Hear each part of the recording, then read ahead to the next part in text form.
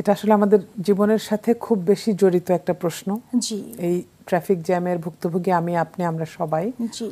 এটা একটা খুব গুরুত্বপূর্ণ প্রশ্ন করেছেন যে আসলে আমার যে সময়টা প্রতিদিন নষ্ট হচ্ছে ট্রাফিক জ্যামে বসে অপেক্ষা করে সেটাতে আমি যদি একটা হিসাব করি দেখা যাবে এটা একটা অনেক বড় একটা অ্যামাউন্টের সময়।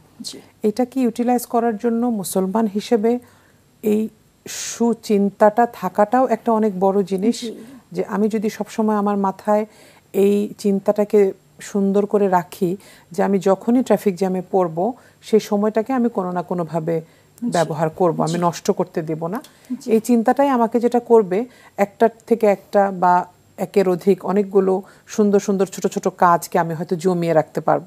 হ্যাঁ সবচাইতে সুন্দর যে অভ্যেসটা এই ট্রাফিক জ্যামে আমরা করতে পারি, যদি আমি মোটামুটি কমফোর্টেবলভাবে বা বেশ ভালো কমফোর্টেবলি আমি ট্রাভেল করছি, তাহলে সেটা হচ্ছে আমি পড়তে পারি, সুন্দর বই পড়তে পারি। অনেকে আজকাল ই বুক পড়েন ফোন থেকে ই বুক পড়েন যে কোনো কিছু হতে পারে।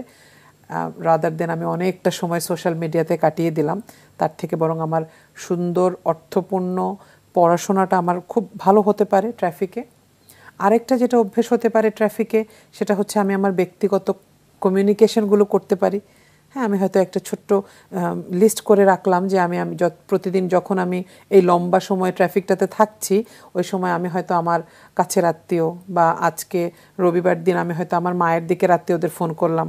আরেক দিন আমি আমার বাবার দিকের আত্মীয়দের ফোন করলাম। আরেক দিন আমি আমার মেয়ের কিছু প্রিয় মানুষদেরকে ফোন করলাম। এইভাবে আমাদের কিছু কমিউনিকেশন আমরা সেরে নিতে পারি। আমরা অনেক বেশি জিকির করতে পারি। আমরা নিজের আসলে যে ভুলগুলো আছে যেগুলো আমরা করে এসেছি সেগুলো আমরা রিকল করে আমরা আল্লাহ তালার কাছে ক্ষমা চাইতে পারি। সো অবশ্যই যেন আমরা এই জিনিসগুলো করি।